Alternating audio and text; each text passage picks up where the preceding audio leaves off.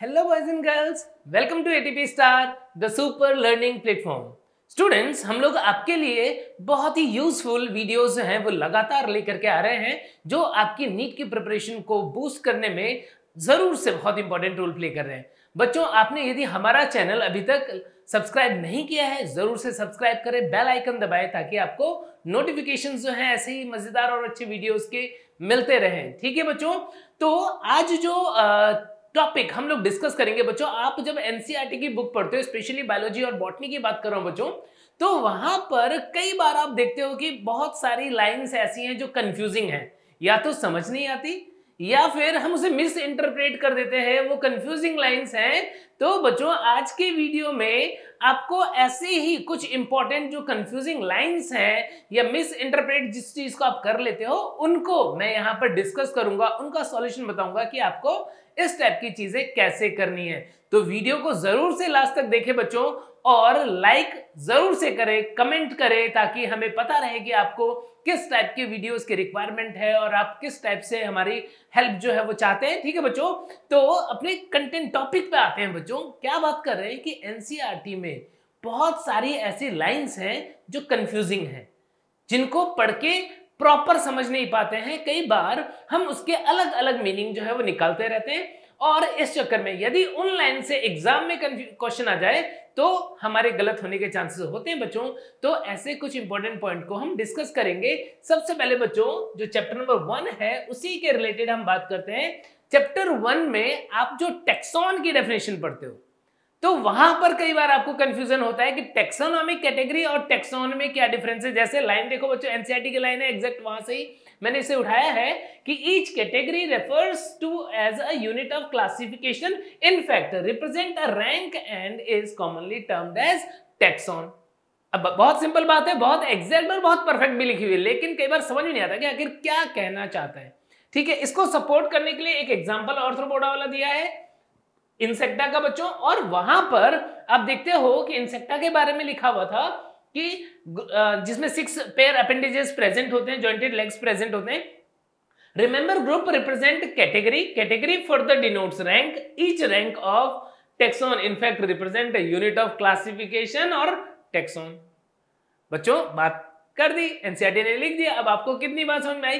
तो मैं यहाँ पर आप लोगों को एक्सप्लेन करता हूँ कि मतलब क्या है। मतलब यह है बच्चों कि जब भी आप टेक्सोनॉमिक कैटेगरी के बारे में पढ़ते हो तो क्लासिफिकेशन को रिप्रेजेंट करने के लिए आप क्या करते हो? कुछ सीक्वेंस में कुछ वर्ड्स जो है वो लिखते हो, जैसे जैसे आप लिखते हो किंगडम किंगडम फिर फाइलम और फाइलम और डिवीज़न प्लांट्स के लिए डिवीज़न लिख देते हो। Then class order family, genus and species.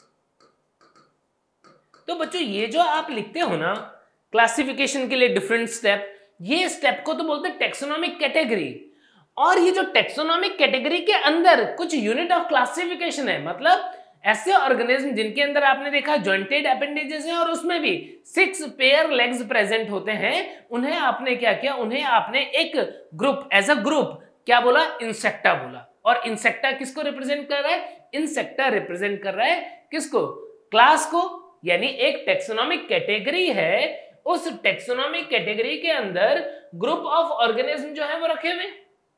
Taxonomic category के अंदर आपने क्या देखा? टेक्सोनॉमिक कैटेगरी के अंदर ग्रुप ऑफ़ ऑर्गेनिज्म रखे हुए जो कि सिमिलर है। और उसका नाम रख दिया इंसेक्टा तो यहाँ पर अब आपको समझ में आ रहा होगा। Each category refers to as unit of classification unit of classification है ये. In fact represent rank and commonly termed as taxon तो क्लासिफिकेशन में क्लास एक रैंक है जिसके अंदर जो ऑर्गेनिज्म रखा हुआ है वो कौन सा है? इंसेक्टा है. ऑर्गेनिज्म का ग्रुप है वो क्या है? इंसेक्टा है और इंसेक्टा होगा टेक्सोन क्लास है टेक्सोनॉमिक कैटेगरी समझ में आ गई बात? तो ये एक ऐसा पॉइंट था जहाँ पर आपको प्रॉपरली एक्सप्लेनेशन की ज़रूरत है ताकि आप चीज़ें समझ पाओ ऐसे ही और भी पॉइंट्स की बात कर लेते हैं बच्चों। तो यहाँ पर नेक्स्ट पॉइंट देखो आप। जैसे जब आप मोनेरा किंगडम के बारे में पढ़ रहे हो एनसीआरटी की बुक में तो मोनेरा किंगडम में क्या देख रहे हो बच्चों? वहाँ पर लिखा हुआ है कि बैक्टीरिया जो है मेनली किससे रिप्रोडक्शन करता है? Mainly by fusion sometime under unfavourable condition produces spores and they also reproduces by a short of sexual reproduction. Short of sexual reproduction या primitive type का DNA transfer. It is a primitive type of DNA transfer from one bacteria to another bacteria. क्या बोलते हैं उसको हम? उसको हम parasexual genetic recombination बोलते हैं बच्चों। तो यहाँ पर क्या इंपॉर्टेंट बात पता पड़ रही है? बच्चों, बच्चे इसको मिस इंटरप्रेट करते हैं कि जो बैक्टीरिया है, उनके अंदर सेक्सुअल रिप्रोडक्शन होता है।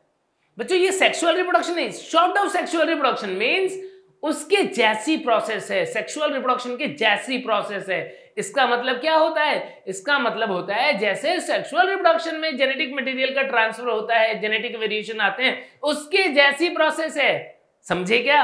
अब मैं यदि आपको बोलूँ कि कोई बच्चा बोलेगा, सर रिप्रोडक्शन ही तो है। लेकिन यदि मैं आपको बोलूँ कि क्या रिप्रोडक्शन की प्रोसेस रिप्रोडक्शन की डेफिनेशन क्या होती है? आप बताओ। रिप्रोडक्शन की डेफिनेशन क्या होती है? आप बोलोगे रिप्रोडक्शन वो प्रोसेस है जिसमें ऑर्गेनिज्म जो है वो ऑफस्प्रिंग प्रोड्यूस करता है, अपने जैसे ऑफस्प्रिंग प्रोड्यूस करता है। लेकिन बच्चों, जैसे कॉन्जुगेशन की बात करें तो कॉन्जुगेशन में तो जेनेटिक मटेरियल ट्रांसफ़र हो गया और दोनों बैक्टीरिया सेपरेट हो गए। ऑफस्प्रिंग प्रोड्यूस नहीं हुई है। इसका मतलब क्या? जेनेटिक वेरिएशन तो आ रहा है, लेकिन बच्चे नहीं हो रहे हैं। बच्चे तो किससे होंगे? फिजन वगैरह से होंगे। आई बात समझ में? तो ध्यान रखना मोनेरा में सेक्सुअल रिप्रोडक्शन एबसेंट होता है। ट्रू सेक्सुअल रिप्रोडक्शन एबसेंट होता है। Short of sexual reproduction present होता है। आई बात समझ में? ठीक है? तो बच्चों, आपको ये कंसेप्ट समझ में आ रहा है, ज़रूर से लाइक जो है उसे प्रेस कर दे। ठीक है बच्चों? नेक्स्ट देखो अब इसके बाद में और इंपॉर्टेंट इंटरेस्टिंग बातें करते हैं। जब आप मॉर्फोलॉजी वाला चैप्टर पढ़ते हो तो मॉर्फोलॉजी में एक जगह आप पढ़ते हो कि underground stem of some plant such is grass and strawberry etcetera spread to new niche and when older plant die new plant are formed बच्चों, अब यहाँ पर किसकी बात कर रहा है? ये अंडरग्राउंड स्टेम की बात कर रहा है। देख रहे हो क्या बोल रहा है? अंडरग्राउंड स्टेम यानी यहाँ पर यदि हम इसको फिर से मिस इंटरप्रेट करें, हम ये सोचे कि अंडरग्राउंड स्टेम है, ये न्यू निश तक यानी नए हैबिटेट तक पहुँच गया, कुछ इस तरीके से। तो ये तो क्या होगा बच्चों? इसे तो हम क्या बोलेंगे? यदि अंडरग्राउंड है तो सकर बोलेंगे। क्या बोलेंगे? सकर लेकिन यहाँ पर बच्चों, ये ग्रॉस मीनिंग है बहुत एग्जैक्टली डिफाइन करके नहीं लिखा हुआ है। ग्रासेस की यदि हम बात करें तो ग्रासेस मोस्टली किस फॉर्म में होते हैं? रनर के फॉर्म में होते हैं। यानी, हो सकता है मेन स्टेम से अंडरग्राउंड निकले बट ये आगे ग्रो करेगा किस फॉर्म में? सॉइल की सरफेस के ऊपर, कुछ इस तरीके से।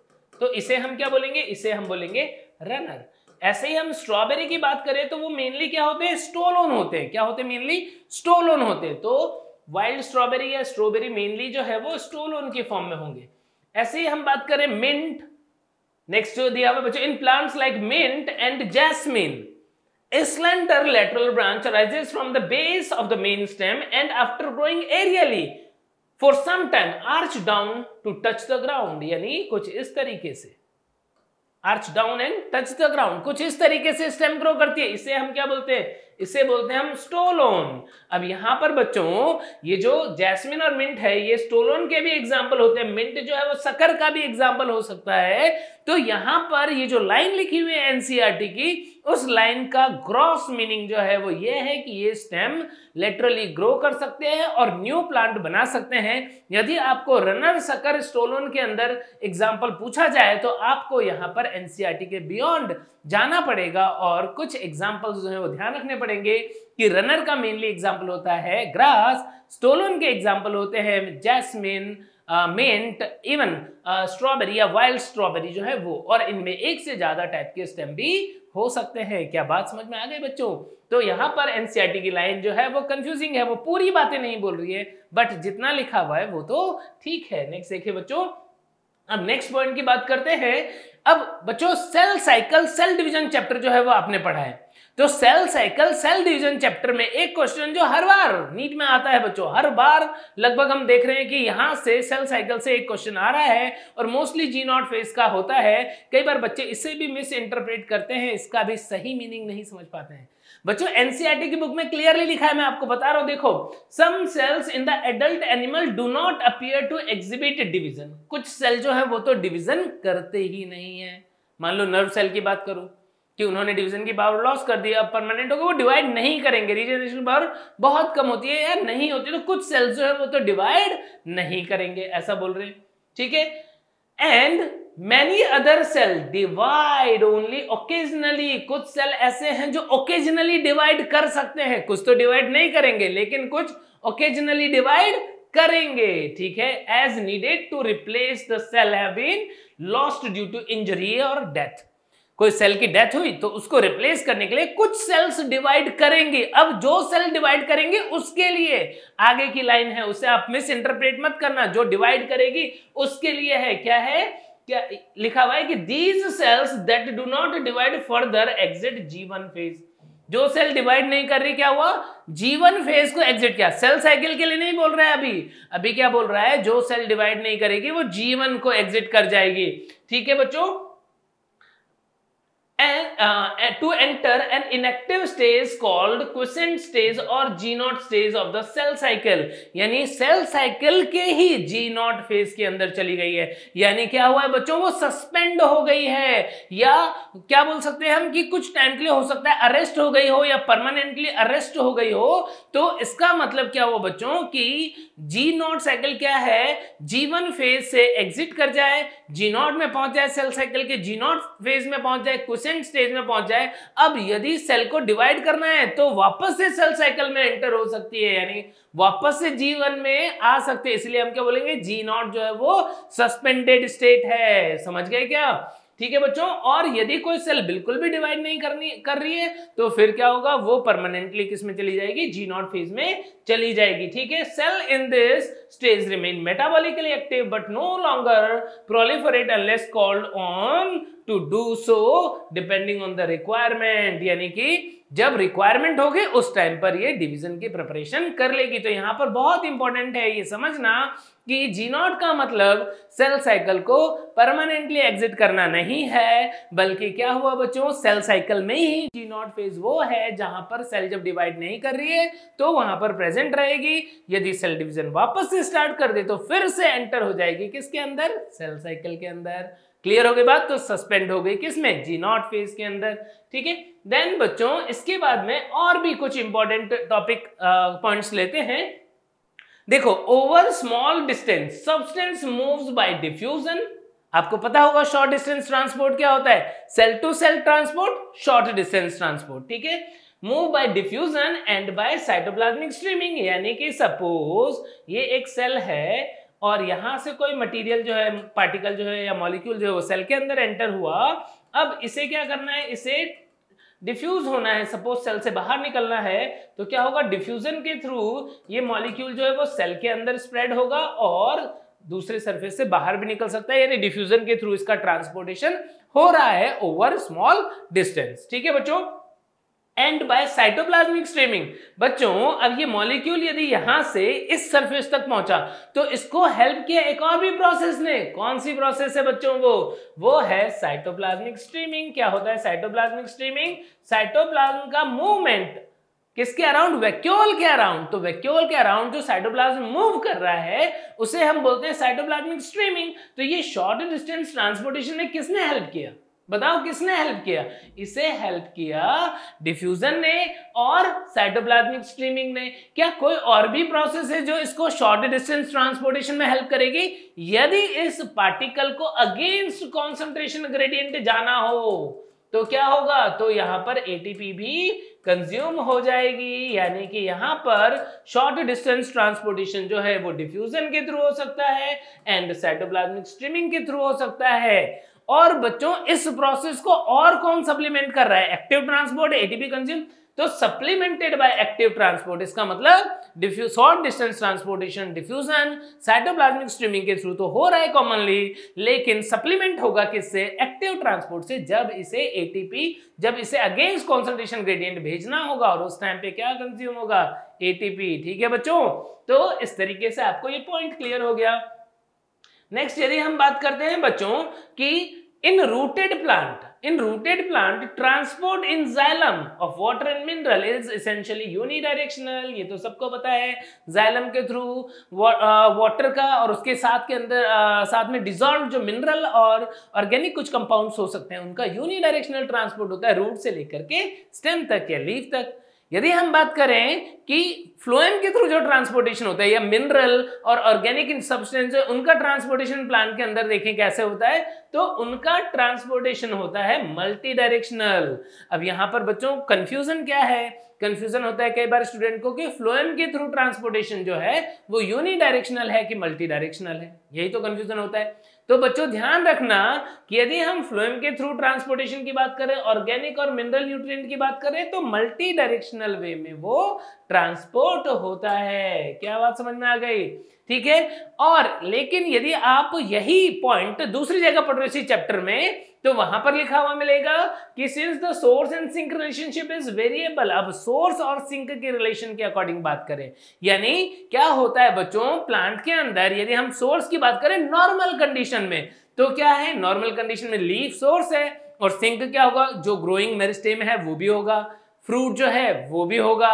और क्या होंगे बच्चों? और उसके अलावा रूट में सपोज़ फ़ूड स्टोर हो रहा है या स्टेम में हो रहा है तो वो भी हो सकता है। तो सोर्स तो एक फिक्स देख रहे हैं हम और सिंक बहुत सारे तो उसके अकॉर्डिंग क्या होगा? डिफरेंट डायरेक्शन में फ़ूड का ट्रांसलोकेशन हो सकता है। यानी मैं क्या पढ़ सकता हूँ? Food in phloem sap can be transported in any required direction so long as there is a source of sugar and sink able to use it store it और रिमूव स्टोर और रिमूव द शुगर इसका मतलब क्या हुआ? कि यहाँ पर source और सिंक की पोजीशन किसके अकॉर्डिंग होगी? रिक्वायरमेंट के अकॉर्डिंग कहाँ फ़ूड बन रहा है या स्टोर हो रहा है और कहाँ पर उसकी रिक्वायरमेंट है? तो उस बेसिस पे हम क्या देखेंगे? ट्रांसपोर्टेशन मल्टी डायरेक्शनल हो सकता है। जबकि यहाँ पर क्या लिखा हुआ है? सिर्फ़ हम एक सोर्स और एक सिंक की पोजीशन की बात करें तो क्या होगा? The direction of movement of the phloem can be upward और downward that is bidirectional यदि सिर्फ़ दो ही चीज़ मान रहे अप और डाउन दो ही चीज़ माने तो क्या होगा? तो तो बाई डायरेक्शनली होगा। यानी सोर्स और सिंक सोर्स से सिंक यदि रिवर्स हो गया तो सिंक से सोर्स मतलब रिवर्स हो गया डायरेक्शन तो यदि हम सिर्फ़ इतना देखें तो बाय डायरेक्शन लेकिन प्लांट के अंदर रिक्वायरमेंट डिफरेंट पार्ट की अकॉर्डिंग यदि हम बात करें तो ये किसी भी डायरेक्शन में ट्रांसपोर्ट हो सकता है। तो यहाँ पर बाय डायरेक्शनल और मल्टी डायरेक्शनल दोनों बातें सही हैं। कैसे सही है? कि यदि आपको पूछा जाए कि प्लांट के अंदर फ़ूड का ट्रांसलोकेशन फ्लोएम के थ्रू कैसे होता है मल्टी डायरेक्शनल होता है। लेकिन यदि पूछे कि सोर्स और सिंक की वेरिएबिलिटी या रिवर्सिबिलिटी के अकॉर्डिंग फ़ूड का ट्रांसलोकेशन कैसा होता है तो आप बोलोगे बाय डायरेक्शनल होता है। ठीक है बच्चों? बात समझ में आ गई आप लोगों को? ठीक है तो फिर नेक्स्ट देखो इसके बाद में। नेक्स्ट पॉइंट हम देख रहे हैं कि कुछ एलिमेंट्स के बारे में बोला है। मोबाइल मिनरल एलिमेंट क्या होता है? इमोबाइल मिनरल एलिमेंट क्या होता है? तो मोबाइल मिनरल एलिमेंट्स वो होते हैं बच्चों जिनका ट्रांसलोकेशन हो जाता है कहाँ से? ओल्डर पार्ट से, यंगर पार्ट में। उनको क्या बोलते थे? Mobile mineral elements. तो यहाँ पर क्या देख रहे हो? यहाँ पर देख रहे हो कि एलिमेंट मोस्ट रेडियली मोबिलाइज कौन कौन से? Phosphorus, sulphur, nitrogen potassium. यहाँ पर बच्चों सल्फ़र को क्या बोला? सल्फ़र को बोला रेडियली मोबिलाइज। ठीक है? यदि यही हम नेक्स्ट चैप्टर में ये ये बात कहाँ पे दी हुई है? ट्रांसपोर्ट इन प्लांट में। और मिनरल न्यूट्रिशन में क्या दिया है भाई? ये वाला पॉइंट दिया है whenever the element are relatively immobile and are not transported out of the mature organ for example like sulphur and calcium यानी सल्फ़र को क्या बोल दिया यहाँ पर? यहाँ सल्फ़र को बोल दिया इमोबाइल एक जगह सल्फ़र को बोल दिया मोबाइल एक जगह बोल दिया इमोबाइल अब क्या करें? तो बच्चों, में यहाँ पे क्लियर कर देता हूँ कि कैल्शियम और सल्फ़र जो है, वो इजिली मोबिलाइज नहीं होते हैं। ये वाली बात सही लिखी हुई है, ये ज़्यादा सही है। ठीक है तो आपको यदि ऑप्शन चूज़ करना पड़े तो हमेशा क्या करोगे? प्रायोरिटी पे रखना, भाई एनसीआरटी में दोनों बात हुई है आपको लगता है एनसीआरटी से क्वेश्चन आ सकता है और आपको सही करना है तो अपने माइंड में प्रायोरिटी रख लो। क्या सही है कि सल्फ़र जो होते हैं, वो इमोबाइल की कैटेगरी में आते हैं कैल्शियम के साथ में इमोबाइल की कैटेगरी में आते हैं। यानी ये ज़्यादा सही है आंसर ना मिले, तब आप इसके बारे में सोचते रहना। ठीक है बच्चों? तो इस तरीके से एनसीईआरटी के ही कुछ पॉइंट्स मैंने आप लोगों के साथ में डिस्कस किए, जो किस तरीके से कंफ्यूजिंग है। और ये पॉइंट डिस्कस करने के पीछे रीजन क्या था बच्चों? इसके पीछे रीजन यही था कि मैं आपको ये बता पाऊँ कि एनसीईआरटी की बुक आपको पढ़नी है, ज़रूर से पढ़नी है, अच्छे से पढ़नी है। लेकिन रट के नहीं, समझ के। यानी जो भी लाइंस आप पढ़ रहे हो, उनके पीछे जो लॉजिक है, वो लॉजिक और जो करेक्ट बातें हैं, वो आपके माइंड में रहेंगे। तो इन पॉइंट से भी यदि क्वेश्चन आता है तो आपका सही होगा। हो सकता है दूसरे बच्चे रट के इसे गलत कर पाए, क्यों? क्योंकि उनको समझ नहीं आया था कि एग्जैक्टली exactly क्या प्रोसेस हो रही है। एनसीईआरटी उन लाइंस के थ्रू क्या कहना चाहता है। लेकिन आपका ज़रूर से सही होगा बच्चों। आपको वीडियो अच्छा लगा हो, ज़रूर से लाइक करे कमेंट करें। और बच्चों, ऐसे ही इंटरेस्टिंग वीडियो के साथ हम फिर मिलेंगे। तब तक आप लोग अच्छे से पढ़ते रहिए। Bye bye